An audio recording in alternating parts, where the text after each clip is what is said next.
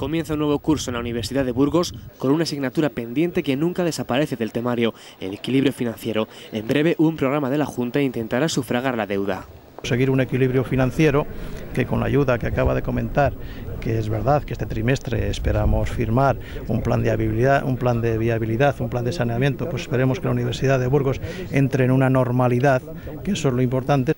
La UBU quiere aumentar la cualificación de la plantilla. Se han dotado más plazas de las máximas categorías y está previsto aumentar en los próximos años el número de catedráticos en un porcentaje anual cercano al 30%. Otro objetivo de este curso, la implantación del Plan Bolonia. Comenzamos con la implantación de los grados y no deja de ser una experiencia de la que tenemos mucho que aprender, de la que tenemos que ver cómo evoluciona para, tomando buena nota ya en junio, ver cuáles son los aciertos, cuáles han sido los errores, porque en el próximo curso 2010-2011 habrá que implantar todas las titulaciones definitivamente y habrá que tener pues una experiencia acumulada que nos va a servir pues para seguir adelante. Este año además la universidad se compromete a integrar las escuelas de enfermería y de relaciones laborales y a solicitar medicina y farmacia para el campus Burgales.